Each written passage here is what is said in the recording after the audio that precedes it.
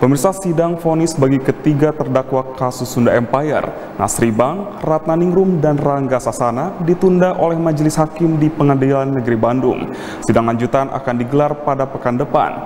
Majelis Hakim pun meminta kepada jaksa penuntut umum untuk menghadirkan ketiga terdakwa. Ketiga terdakwa Kerajaan Sunda Empire, Nasri Bang, Ratna Ningrum, dan Rangga Sasana kembali menjalani sidang secara virtual di Pengadilan Negeri Bandung.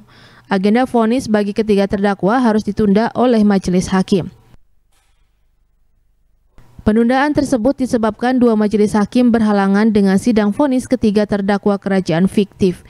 Di samping itu, terdakwa Nasri Bang meminta kepada majelis hakim untuk dihadirkan pada sidang vonis mendatang.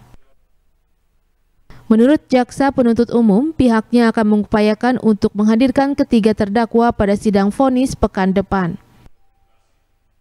Pihak Polda, kalau pihak Polda mengizinkan ya kami akan berupaya.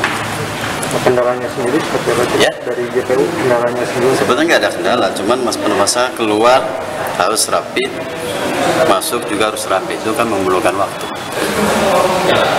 Ini akan Itu aja. Kalau kendala lain nggak ada. Sementara itu, kuasa hukum dari ketiga terdakwa merasa kecewa dengan penundaan sidang vonis tersebut. sudah menyampaikan akan tapi dokumennya ada yang ada yang kurang.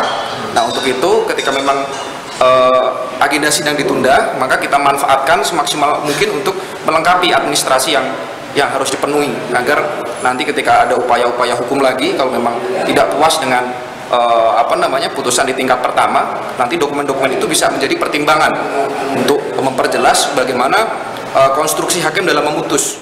Sidang lanjutan akan kembali digelar pada pekan depan dengan agenda vonis bagi ketiga terdakwa. Jaksa penuntut umum akan berupaya untuk menghadirkan ketiga terdakwa saat agenda putusan. Yuwana Kurniawan, Bandung TV.